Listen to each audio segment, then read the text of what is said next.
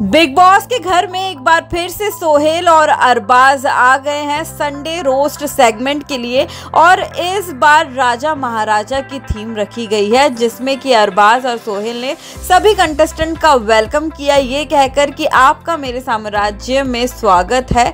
इसके बाद उन्होंने चार कंटेस्टेंट को बुलाया टास्क खेलने के लिए, जिसमें कि उन्होंने अंकिता को अविश्वसनीय अंकिता ईशा को इंद्रलोक की सुंदरी ईशा, समर्थ को सज्जन समर्थ और अभिषेक को अलौकिक अभिषेक कहकर इंट्रोड्यूस किया। जिसके बाद ये चारों कंटेस्टेंट ही अरबाज और सोहेल से मिलने के लिए गए और वहीं पर टास्क भी परफॉर्म होने वाला था। ये टास्क पिछले हफ़्ते की तरह ही है, जिसमें कि कंटेस्टेंट्स को परफॉर्म करना है और सामने वाले का रिएक्शन निकालना है, जिसमें कि सबसे पहले परफॉर्म करते हैं समर्थ। और भाई, अब तो समर्थ इस गेम में प्रो हो चुके हैं। वो खुद को लड़की में कन्वर्ट कर लेते हैं और फिर सभी को हंसाने की कोशिश करते हैं, जिसमें कि वो कामयाब भी हो जाते हैं क्योंकि उनकी हरकत देखकर अभिषेक रह नहीं पाते हैं और काफ़ी ज़्यादा तेज की हंसने लगते हैं, जिससे कि अभिषेक हार जाते हैं और समर्थ जीत जाते हैं। इसके बाद आती है अंकिता की बारी। अंकिता हीलियम वाला बलून लेती है और उसके बाद अपने बातों से सबको हंसाने की कोशिश करती है। अब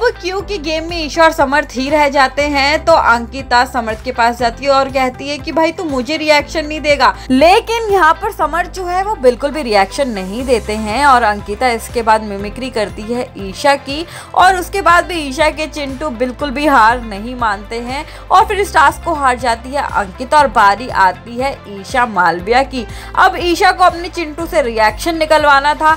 ईशा जद्दोजहद करती है और वैक्सिंग स्ट्रिप निकाल लेती है।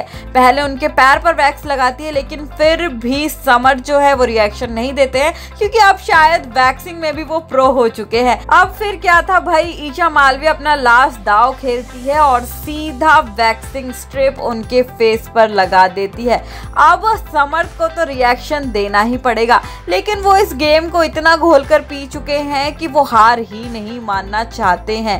वेल वेल अब इस गेम में वो हार मानेंगे या नहीं? उनका रिएक्शन सामने आएगा या नहीं? ये तो एपिसोड में ही देखकर पता चलेगा लेकिन ये देखना काफ़ी ज़्यादा इंटरेस्टिंग रहेगा। वेल well, आपका क्या कहना है इन सब चीज़ों को लेकर हमें कमेंट सेक्शन में ज़रूर बताएँ। साथ ही ऐसे ही टीवी और बॉलीवुड से जुड़ी तमाम खबरें जानने के लिए आज ही फिल्मी बीट को सब्सक्राइब करें। और अगर आप हमारे ये वीडियो फेसबुक पर देख रहे हैं तो वहाँ पर भी हमें फॉलो करना बिल्कुल भी ना भूलें।